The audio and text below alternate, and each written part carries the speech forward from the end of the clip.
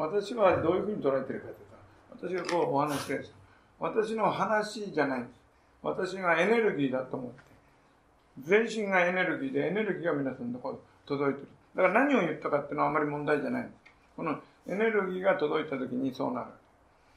あの、ちなみにですね、このニューヨークの方なんですけどね、で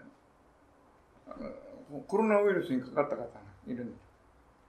で、もう、それはもう、熱もすさむしく上がってね。で、私のこといろいろネットを見てる間私の動画を見た。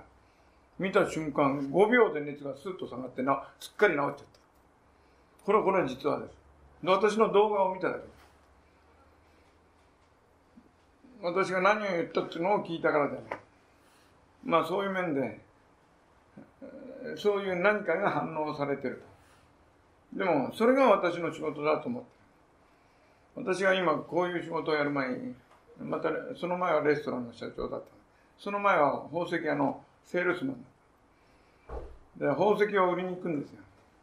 行くんですけど、もう最後頃はもうほとんどの人には100発100中ぐらいに売れるようになった。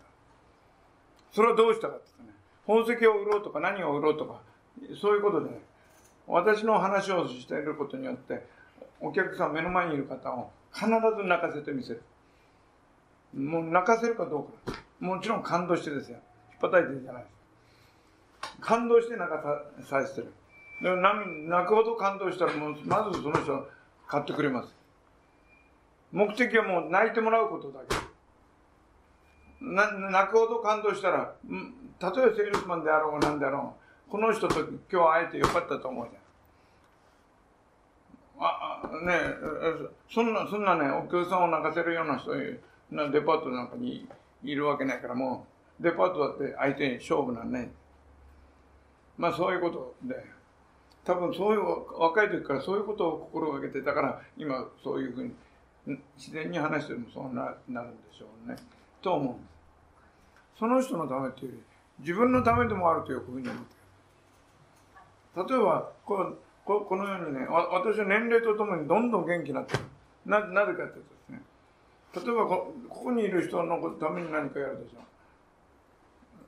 う。例えば、普通は自分のために何かやる。そうすると、自分、自分一人の喜びであり、自分一人の悟りでも、この多くの人、例えばここに100人いたとして、100人の人がおかげさまで本当にこんなに幸せになりました。こんなに豊かになりました。おかげさまやおかげが。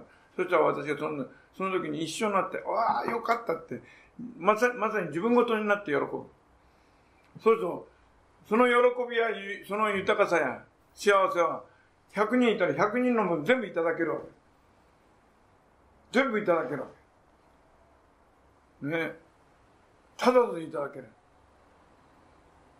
だから人の幸せを、人の喜びを全部いただけばいい。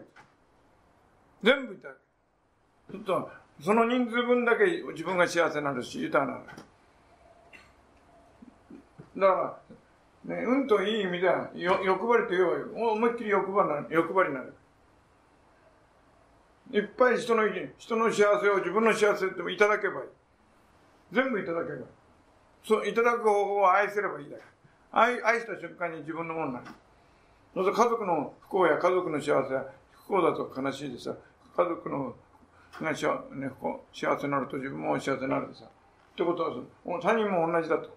他人を全部幸せを愛した瞬間にそれは全部自分のものになると思う。ね、全部、すべてこの地球上にいる人みんなを愛したみんな地球上のものが全部自分のものになる。そうそういうことを考えられたり。